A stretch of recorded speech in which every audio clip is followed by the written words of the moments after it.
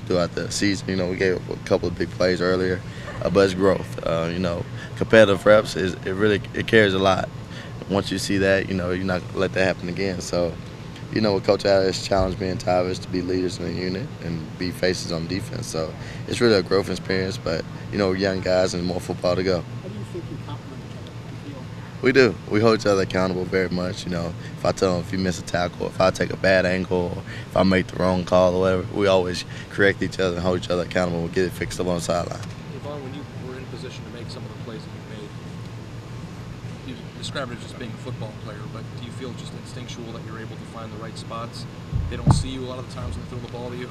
Uh, how does it pan out that way? Right, you know, just being a football player, just having a knack for the ball. I always wanted to be a ball hawk. I always just wanted to make plays for this defense and just always get the name of ball hawk and just always make plays. Because I always promised Coach Ash I'll give him a pick every game.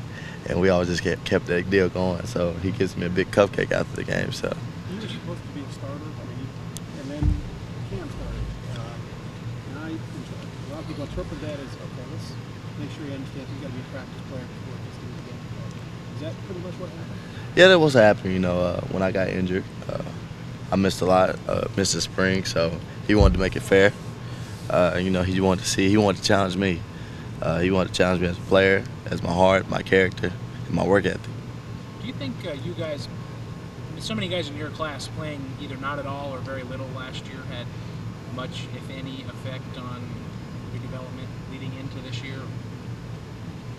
Do you think that had much of an effect, or do you think you'd be in the same schedule if you guys, some of you guys had played a little more? Or? Uh, I really don't know, but you know, being a young guy, that happens. Because you come into an elite program like this, you know, you have to take your bumps and bruises as a young guy and just work your way up.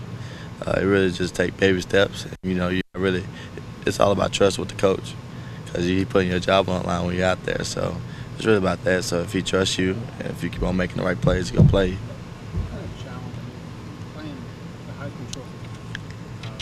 he's only three picks all year and, and all that stuff. You're smiling. How much do you relish in this challenge? I rush it a lot.